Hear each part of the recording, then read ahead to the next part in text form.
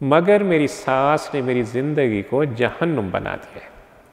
ذرا ذرا سی بات پر ٹوکتی ہے، میری ہر بات پر اس کو اعتراض رہتا ہے۔ مجھے ذہنی طور پر سکون نہیں ہونے دیتی۔ میں نے پڑھانا ہوتا ہے، لیکن اس کی وجہ سے مجھے پڑھانے میں بہت دقت ہوتی ہے۔ وغیرہ وغیرہ۔ ان الحمد للہ والصلاة والسلام علی رسول اللہ۔ اعوذ باللہ من الشیطان الرجیم۔ بسم اللہ الرحمن الرحیم۔ قال اللہ تعالیٰ فی سورة النساء وعاشروہن بالمعروف، فَإِن كَرِهْتُمُوهُنَّ فَعَسَىٰ أَن تَكْرِهُوا شَيْئًا وَيَجْعَلَ اللَّهُ فِيهِ خَيْرًا كَثِيرًا ان کے ساتھ بھلے طریقے سے زندگی بسر کرو۔ اگر وہ تمہیں ناپسند ہو تو ہو سکتا ہے کہ ایک چیز تمہیں پسند نہ ہو، مگر اللہ نے اس میں بہت کچھ بھلائی رکھ دی ہو۔ ناظرین اکرام، یہ اللہ سوجل کا ارشاد مبارک عورتوں کے بارے میں عمدہ برتاؤ پر مبنی ہے۔ ان سے بہترین اچھا سلوک کرو، ان کی ضروریات کا خیال رکھو، انہیں اپنے گھروں میں ٹھہراؤ، ان پر اپنے اموال خرچ کرو، گفتگو کرو، تو نرم لب و لہجے میں کرو تاکہ وہ تمہارے ساتھ خوش و خرم رہ کر زندگی بسر کر سکیں۔ لیکن اگر کسی طبعی کراہت کی وجہ سے تم ایسا نہ کر سکو تو صبر سے کام لینا۔ انہیں اپنے سے جدا مت کرنا۔ بدخلق یا بدصورت عورت کو طلاق دینے میں جلدی نہ کرو۔ ممکن ہے کہ رب تعالیٰ اسی بیوی سے تمہیں ایسی اولاد دے جو بہت سی خوبیوں کی مالک ہو اور ان باتوں پر تمہاری نظر ابھی نہ جا رہی۔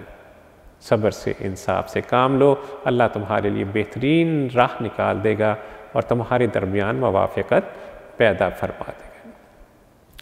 اسی مفہوم کو ایک روایت میں رسول اللہ صلی اللہ علیہ وسلم نے فرمایا کہ کوئی مسلمان مرد، کسی مسلمان عورت کو صرف اس لیے مبوض نہ رکھے کہ اس کی کوئی عادت ناگوار خاطر ہے۔ اس لیے کہ اگر ایک عادت ناپسند ہے تو ممکن ہے کوئی دوسری عادت پسند آ جائے۔ اللہ سے جل نے عورت کے ساتھ خصوصیت سے رحم کرنے کا، کرم کے معاملے کا ذکر فرمایا ہے۔ اس کی صنفی نزاکت کو ملحوظ رکھ کر اس پر رحم و کرم کرنے کا حکم دیا ہے۔ اس پر کوئی بار ڈالنے سے، کوئی مشقت کے حکم سے منع فرمایا۔ اس پر بے جا سختی سے روکا ہے۔ اس کو ذلت سے پستی سے نکال کر اللہ عز و جل نے عزت کا، وقار کا تاج پہنا ہے۔ عورت ماں ہو، بہن ہو، بیٹی ہو، بیوی ہو، بہو ہو، ساس ہو، عورت کی ہر شکل کو اللہ عز و جل نے معزز بنایا ہے۔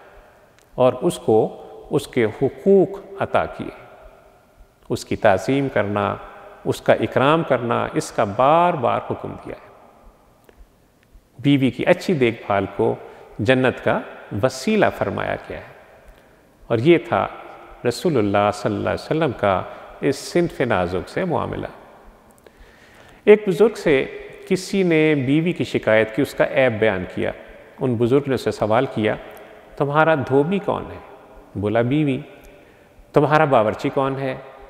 بولا، بیوی تمہارا تمہارے گھر اور تمہارے مال کا چوکی دار کون ہے؟ وہ کہنے لگا، بیوی، تمہارے گھر مہمان آئے، ان کا میزبان کون ہے؟ وہ پھر بولا، بیوی، جب تم پریشان ہو، اس پریشانی میں، اس غم غم میں، اس غمی میں تمہاری دل جوئی کرنے والا کون ہے؟ اس شخص نے پھر وہی جواب دیا کہ بیوی۔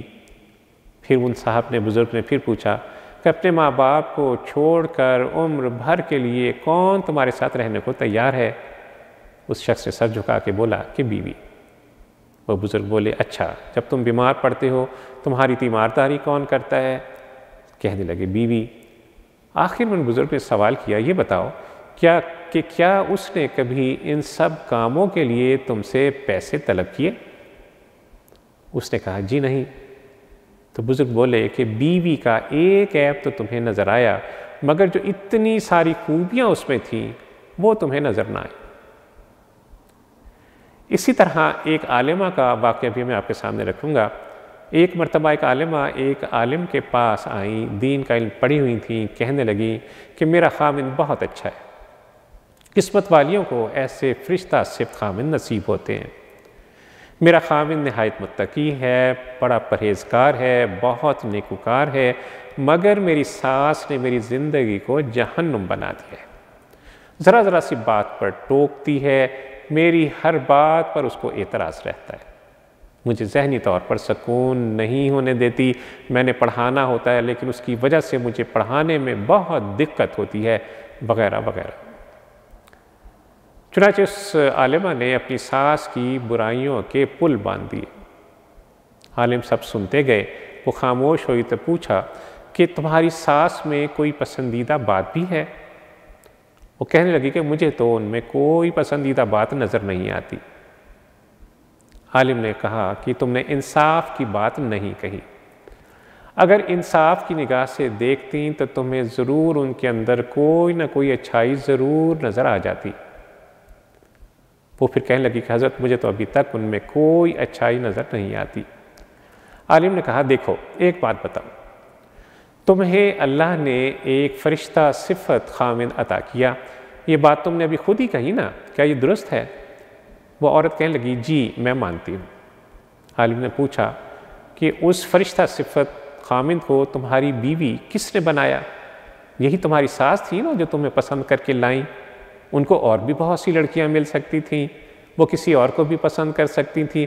مگر جو تمہیں پسند کر کے لائیں، یہی تو وہ ساس تھی جس نے تمہیں اس کی، جس نے اپنے بیٹے کی بیوی بنایا۔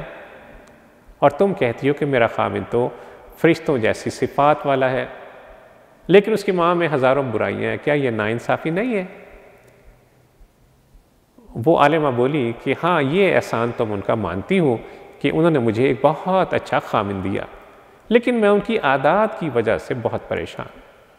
عالم نے کہا، تم ان کے اس ایک احسان کا بدلہ ساری عمر اتار نہیں سکتی۔ حل جزاء الاحسان و الاحسان۔ قرآن کی پوچھنے لگے کہ کیا تم قرآن کی سائد کو جانتی ہو؟ وہ کہنے لگی جی بالکل جانتی ہوں. عالم نے کہا، اس احسان کا بدلہ چکانے کے لیے اب ساری زندگی تمہیں اپنی ساس کی خدمت کرنا ہے کہ اس نے ایک فرشتہ جیسا بیٹا اس کی بیوی کے طور پر اس نے تم کو چنا، تم کو اختیار کیا.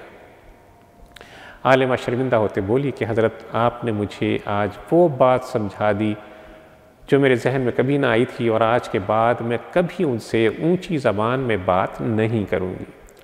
ان کو اپنی ماں کا درجہ دوں گی، ان کی ہر ہر بات کو برداشت کروں گی۔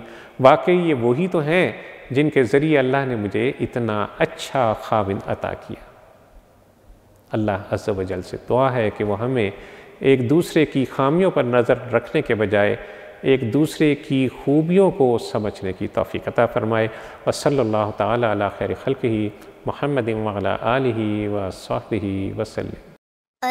اللهم صل على سيدنا محمد وعلى آله